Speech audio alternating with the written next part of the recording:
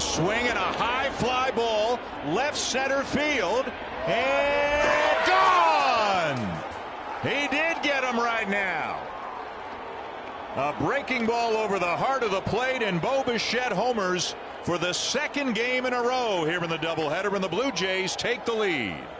He hit that ball like Aaron Judge hits home runs, and he is just an average guy, but he generates a lot of bat speed, and he was looking for that breaking ball, and boy, did he hammer it.